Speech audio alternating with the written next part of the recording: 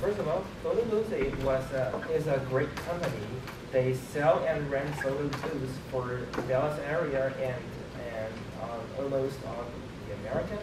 And our job is to provide their, their cash flow statement for, for them and maybe some advice for uh, like a ratio analysis and SWOT analysis.